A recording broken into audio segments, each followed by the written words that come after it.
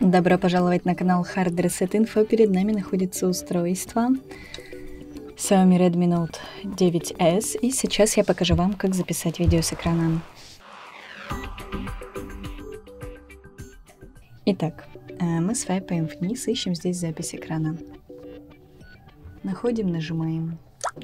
Прежде чем начать записывать, можем перейти в настройки и здесь настроить разрешение, качество видео, ориентацию, источник звука, фиксированную частоту кадров можем включить, также настроить частоту кадров.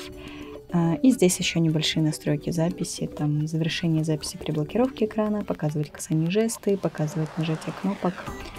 Вот, это все мы можем здесь настроить. Когда мы все это дело настроили, нажимаем на кнопочку, на красный кружочек и у нас идет запись. Мы можем записать все, что нам нужно записать, и после остановить запись, нажав на квадратик.